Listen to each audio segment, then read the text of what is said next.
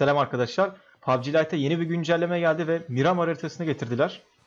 Ee, ben de bu videomda Steam PUBG ile PUBG Lite arasındaki Miramar farkına bakacağım. İkisini de karşılaştıracağım. Bakalım nasıl bir fark var.